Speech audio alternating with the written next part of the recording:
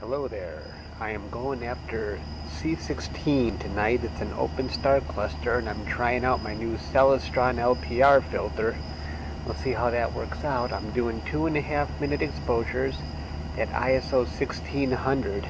Um, that seems to be my favorite setting these days. I just wanted to share with you how my guiding is going. It's a little bit hazy up there, but the guiding is looking um, pretty good.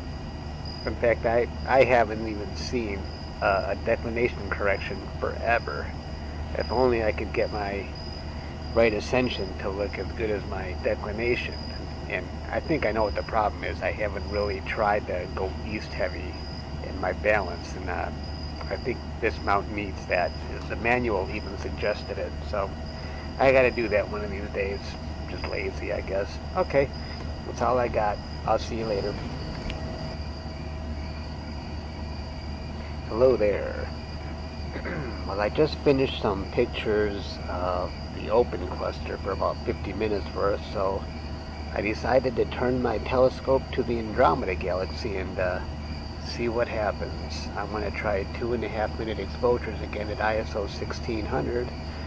And I didn't recalibrate um, PHD2, and the guiding um, looks well enough. I don't think it needs to be recalibrating.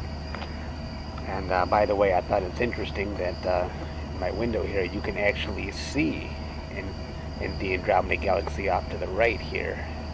So, I thought that was kind of cool. I'm doing one second exposure, and it, it uh, shows up pretty well for just one second refreshes. Yeah, well, that's the scoop. Just wanted to see how my guiding was going. See you later.